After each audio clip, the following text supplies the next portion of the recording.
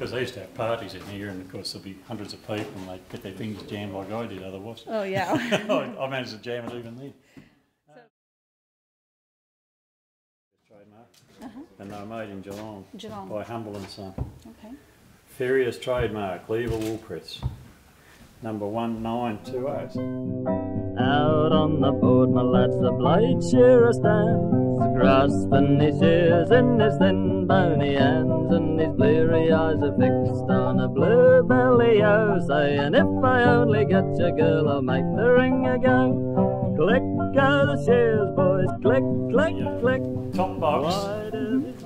Uh, is when, when you're filling with wool, it sits down there, Yep. flips over and it's down there. And uh, you fill it with wool when it's full.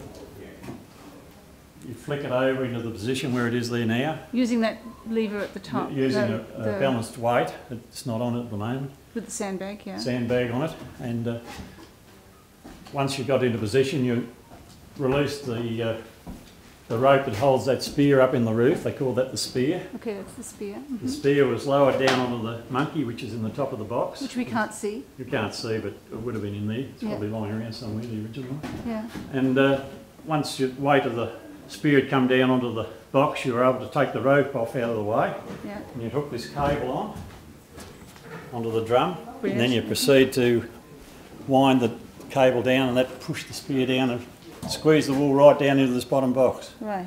And that was a feature of the Ferrier. You could really push it well down, so you could keep your bales short, do them up short. And once you'd uh, pushed it down, you opened the doors. Don't jam your finger. Yeah. Skew the cap into the bottom part, the big bag with the wool in it. So what? Can you describe the cap a little bit? The cap is a square piece of uh, jute. The wool packs were jute in those days. A square patch of this. You, you speared the, uh, the cap onto the bottom part, which has got all the wool in it. Once you'd skewered it on there, you were able to then take the weight off the drum. Right. Uh, then you hook the rope back on, wound the spear back up into the roof. Right. Then you flick the box over the, out of the way. Or you could, you could get your bale out with the box there still. But uh, before you could start the next bale, you had to have the box tipped over here. And the first thing you did once you put the box down there, or on the way down, you got the monkey and put it in the top of the box with the cap on it for the next bale. And when the box came right down, that monkey and the cap are right, in, right at the bottom. Of course, when you tip it over, they're right at the top. Yeah. Do you think the monkey's in there if we look up? No, no, I don't think it would be. Oh, no. Uh, no. There's nothing to keep there. No. Because it'd just fall down without wool in there, Jill. Yeah, yeah, yeah. That's right. Because it's completely open the whole way. Yeah. And uh, see these holes? If you were, were a bit slow at tipping them over, there were steel bars, three pins that go through there. You'd tramp your wool down because that's on top, and you'd have these three pins in there, so when you tipped it over, the wool couldn't fall out. Oh, yeah. But usually the presses, when they tipped it over, they're in a hurry, the wool didn't have time to fall out. So how much weight would be in a bale? Uh, it would range between, we'll go back to Imperial, it'd be, uh, a good average bale it would be 300 weight. Um, you could get up to 400 weight. 100 weight. What's that? 100 weight is 112 pounds, and there was uh, 20 hundred weight to a tonne. So 300 weight. 300 weight, 336 pounds. Wow. You can get some of the heavier lines like locks and that up to 400 pounds. So how do we move a bale that heavy? I mean, Oh, you have a little bag trolley. oh, bag trolley. Yeah. Ah, Yeah, just hook him, hook him and wheel him around wherever you wanted to. Fantastic. Yeah, that'll just roll them. yeah. Yeah. And that's the scale in there. So that would have weighed.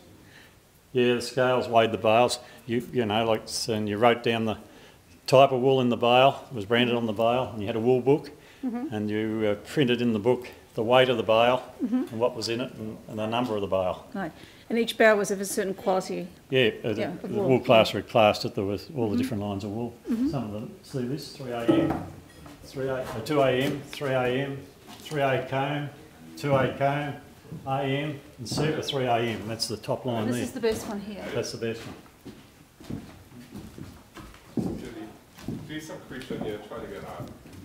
No, no, this is the skewers. When you're skewering the cap in, they're steel pins. One of them not still around, they're probably hidden somewhere. Someone did themselves an injury. See that bag there? That's the counterweight. It's just to hang on the rope. Oh, right, that's it. That's, you know, quite heavy. Yeah. What's in there? Ah, it is, There's the that's bit it. that presses down. Oh, and it's getting ruined Yeah, too. yeah. Here's a skewer. You want to hear those scratches if you've got made? Oh. So that's what you, you three of those, and you feed them through the, the main wool pack, through the cap, back out of the cap into the wool pack, sort of it's like a stitch. Hmm. And there's three of those in each side, and that held the weight of the bale. They're good quality steel. They're usually made out of really high tensile steel. But that's one of the originals. How about that?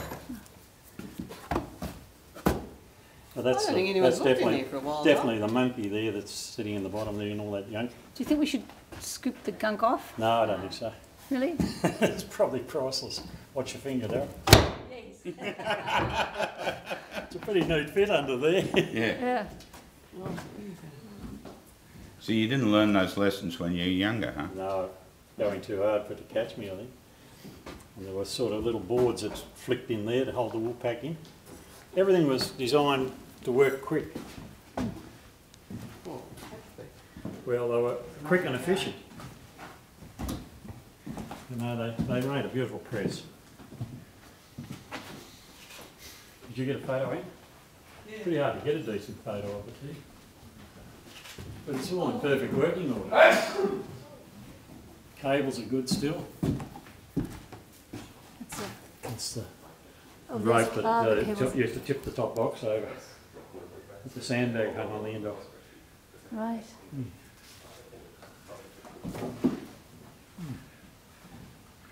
And the serial number is nine, one nine two oh. So that's not the year it was made? That old, that one up, no, no, that's uh, just the number, serial number. Oh, when would this have been made? Oh, Lord knows. Yeah, no, but they're beautifully made. See that beam here, the, you know, it takes all the weight there, all these pulleys.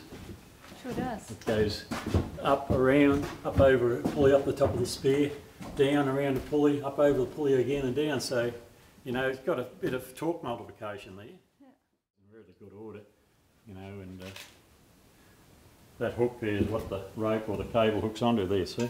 Oh, right. You know, just the chain bit just goes on that hook and away you go. Hold, how old is it? How old is it? Oh, it's hard to say. It'd be in the early 19s. 1920. I'd love to know where this one came from. Yes, if the wool, pre- if the wool, if the wool shed See, there burnt used to be one out at Tura. That's where I used to first use a Ferrier at Tura property. Load. See that going up there? That goes up to that safety catch. Yeah. So show me what goes to the safety catch? There's a safety catch up in the top there. You see this little rope, Yeah. like a fishing line? Fishing line, yeah. Yeah, when you're taking the weight up on the, on the, on the, when the rope's on it, Yeah. before the ram can come down, you've got to pull this safety catch to, to, to allow it to come back down. Right, It's just a catch there to stop it dropping right. if somebody should, if the rope should break or do something. Beautifully made thing. See, that's got a little lug on it, so when this box comes over, it sits on there. You giving your run down now? Yeah, done well there, yeah. Oh, you jammed your finger? Yeah, shut the finger on the door. What a silly thing for a president to do. Yeah. Well, you probably hadn't used one for a while. Oh, very rusty. no, it's a classic. Brings back memories, eh, Ian, to walk into a shed like this, with all the wool bins and the doors, and the press opens the back of the bin and pulls the wool out, and look over there, the piece has been got a fair drag. Mm. Size of the shed in Tasmania, where I, what, thirty yards to drag the wolf one. Oh, you, you, you had some money, didn't you? Yeah, just pick it up here and put it in like the press of the wool. Yeah, birds and shot on the table into the press now. You know, like, uh, what you In say. the middle of the shed. I wonder when they, you know, when they'd, um. They definitely got burnt that down. bit on. Yeah. You know, that was a, all this That was when it was part of Burrenbridge Station or Yeah, something, yeah, was it? yeah, back in the early days, yeah, so Before. probably twenties Before my time. Yeah. I Well, reckon it was really. some rouseabout didn't like the place and he set it on fire or something. Might have been a shearer, who knows, but shearing sheds are vul- vulnerable Someone will get to into someone trouble. getting at them, yeah. Hmm. What year was it originally built then? Out on the board, my lads, the blade shearer stands, grasping his shears in his thin